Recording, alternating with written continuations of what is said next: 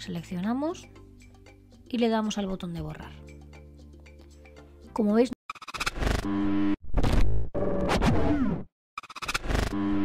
Esta es la página de inicio. Si ponéis theinpaint.com ya os va a aparecer. Como veis no necesito ni suscribirme ni registrarme, nada. Directamente ponéis esto y ya directamente podéis subir la imagen. Como veis podéis subir en JPG, PNG, el tamaño máximo de la imagen tiene que ser de 10 megabytes y de una resolución máxima a 4,2 megapíxeles. Pero bueno, cualquier imagen normal de cualquier cámara normalmente suele aceptar. Como veis está solo en inglés, pero ya que es una herramienta muy muy sencilla no vais a necesitar gran manejo del idioma. Vamos a subir nuestra primera imagen y vamos a borrar una alumna. Pues en la imagen y le damos a subir. Como veis aquí se está cargando y sin que yo le dé a nada directamente nos va a abrir esta siguiente página. Perfecto, ya nos ha abierto. Bueno, vamos a suponer que no tenemos el permiso de esta alumna para sacarla en fotos. Lo que vamos a hacer es directamente sin clicar en ningún otro lado, ya está escogido este botón y también este, el rojo y el primero, vamos a quitarle la cara a esta alumna. Una vez que tenemos seleccionada su cara, vamos a dar al botón de borrar aquí arriba en verde. Perfecto, ya nos ha quitado su cara y ahora vamos a ir con el cuerpo. Seleccionamos y le damos al botón de borrar.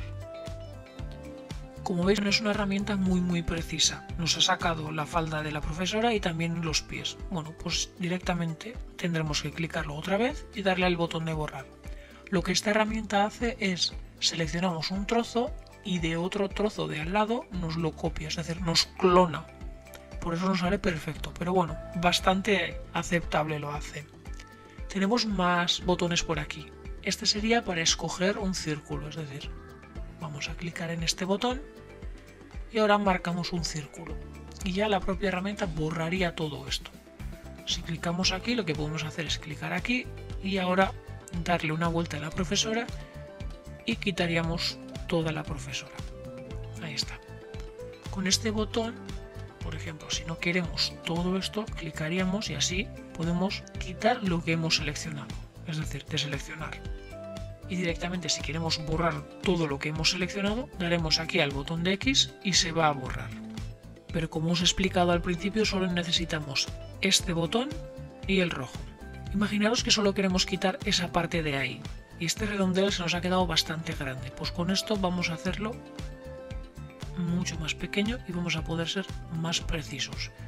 De lo contrario, si queremos quitar algo muy grande, pues sería así, clac, dar un puntito y se borraría. Vamos a deseleccionar todo y una vez que tenemos la imagen como queremos, le vamos a dar al botón del download. Obviamente, al ser una herramienta totalmente gratuita y sin registro, lo que nos dice es que nos va a descargar la imagen, pero con una resolución un poco más baja. Bueno, normalmente suele estar bien, tampoco le quita tanto.